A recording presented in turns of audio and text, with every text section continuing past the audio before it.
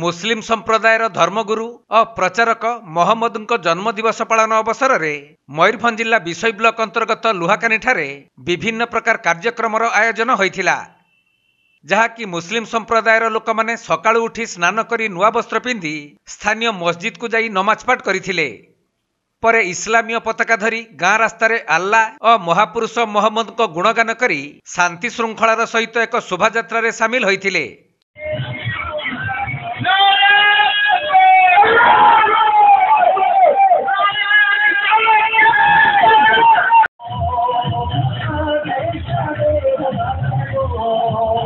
ଆଉ ଆଲ୍ଲାଙ୍କ ନିକଟରେ ଦୁନିଆର ସମସ୍ତ ପ୍ରାଣୀ ଜଗତର ମଙ୍ଗଳ କାମନା କରିଥିଲେ ସେପଟେ ବିଗତ ଦୁଇ ବର୍ଷ ହେଲା କରୋନା କଟକଣା ପାଇଁ ସବୁ ବନ୍ଦ ଥିବା ବେଳେ ଚଳିତ ବର୍ଷ ମହାପୁରୁଷ ମହମ୍ମଦଙ୍କ ଜନ୍ମ ଦିବସ ଅତି ଧୁମଧାମରେ ପାଳନ କରାଯାଇଛି